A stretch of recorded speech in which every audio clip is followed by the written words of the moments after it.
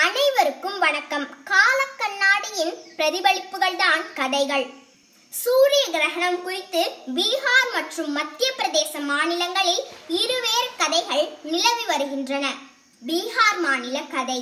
சூரியன் தனது குடும்பத்தோடு மிகுந்த ஆச்சாரமான வாழ்வை மேற்கொண்டு வந்தான். இதனால் தினமும் உணவை இலையில் வைத்து சாப்பிட வேண்டிய நிலை உண்டானது. இலையை பறித்து வந்து அதை தைப்பது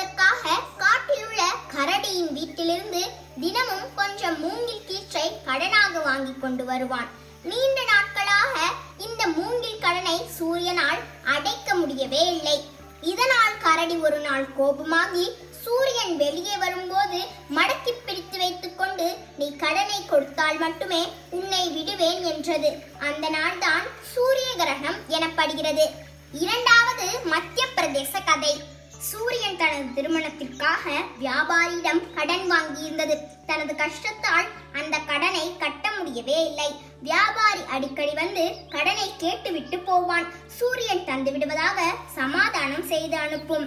ஒரு நாள் சூரியனை வீதியில் வியாபாரி மடக்கி நீ உன் கடனை அடைக்கும் வரை உன் மனைவியை அடமானம் வைத்துவிடு என்கிறான். சூரியன் அதை ஒத்துக்கொள்ள மறுக்கிறான்.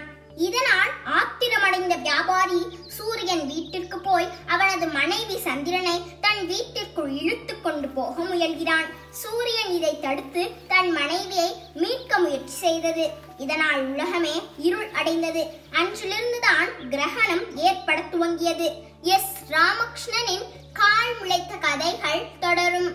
நன்றி.